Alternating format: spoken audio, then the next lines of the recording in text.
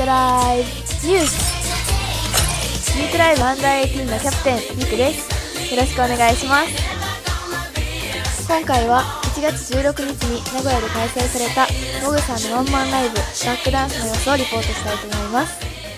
今回参加したのはアンダー18からミク、しおり、もえり、かおりそして OG のあかりさんです。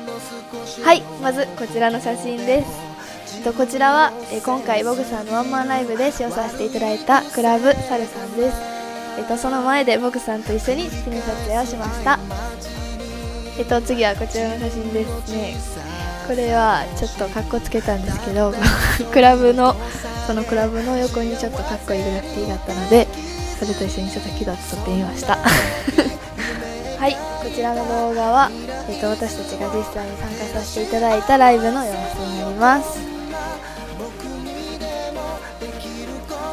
はいこちらの曲はですねえっ、と「フューチャーノバという曲で、えっと今回2曲出演させていただいたんですけど1曲目に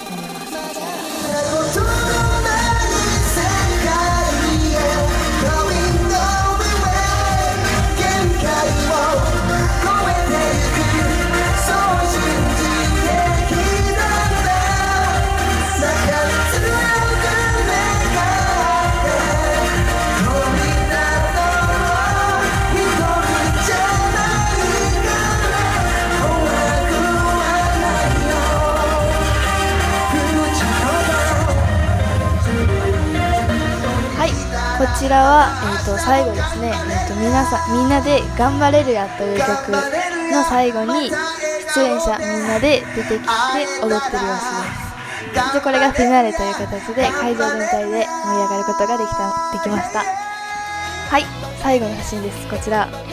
これは最後にお客さんのみんなと皆様と出演者全員で撮った記念撮影です。バックダンス名古屋遠征いい経験をさせていただきました。ありがとうございました。続いてはインフォメーションコーナーです。